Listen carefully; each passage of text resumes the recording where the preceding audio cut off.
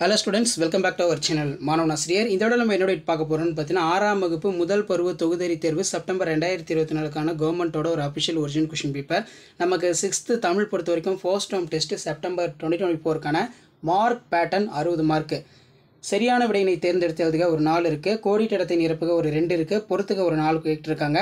அடுத்து ஏதேனும் ஐந்து வினாக்களுக்கு விடையிலே அஞ்சு இன்ட்டு ரெண்டு பத்து. இதில் அன்பிலார் அன்புடையோர் செயல்கள் யாவை? செயற்கைக்கோள் எவற்றிற்கு எல்லாம் பயன்படுகிறது? செந்தமிழின் புகழ் எங்கெல்லாம் பரவ வேண்டும் என்று கவிஞர் கூறுகிறார். சார்பெழுத்து எத்தனை வகைப்படும்? அவற்றில் இரண்டு மட்டும். நீங்கள் அறிந்த தமிழ்மொழி காப்பியங்கள் பெயர்களை எழுதுக.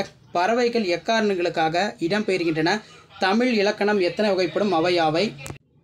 ஸோ இது எல்லாமே ரொம்ப முக்கியமான கொஸ்டின் எல்லாத்தையும் நல்லா எழுதி பார்த்துக்கோங்க.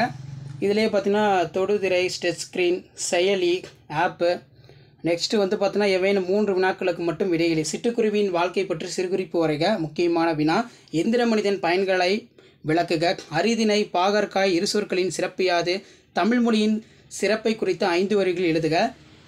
விளைவுக்கு நீருக்கு உள்ள தொடர்பு யாது? ஸோ கண்டிப்பாக இந்த கொஸ்டின் பேப்பரில் இருக்கக்கூடிய கொஸ்டின் நல்லா படிச்சுக்கோங்க. அடுத்து பார்த்தீங்கன்னா நமக்கு திருக்குறள் கேட்டிருக்காங்க இன்பத்தமிழ் பாடல் கேட்டிருக்காங்க.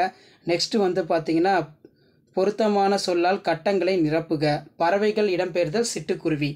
அது கீழே வந்து பார்த்திங்கன்னா நமக்கு கொஷின்லாம் கேட்டிருக்காங்க. மெய்யெழுத்து வடிவில் அமையுமாறு அமைத்து எழுதுக.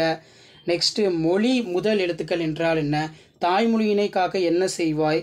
ஏதேனும் ஒன்றனுக்கு விடையிலி டாக்டர் அப்துல் கலாம் அவர்களுடன் மாணவர்கள் உரையாடிய உரையாடலை கட்டுரை வடிவில் எழுதுக. நெக்ஸ்ட்டு கீழ்காணும். கடலும் என்னும் அதாவது கிழவனும் கடலும் என்னும் படக்கதையினை உள்ள சொந்த நிலையில் கதையாக எழுது ஏதேனும் ஒன்றனுக்கு விடையிலி வெடுப்பு விண்ணப்பம் நல்லா எழுதி பார்த்துக்கோங்க. அடுத்து பார்த்தோன்னா இயற்கையினை காப்போம் என்ற தலைப்பில் ஒரு பக்க அளவில் கட்டுரை ரொம்ப முக்கியமான வினா.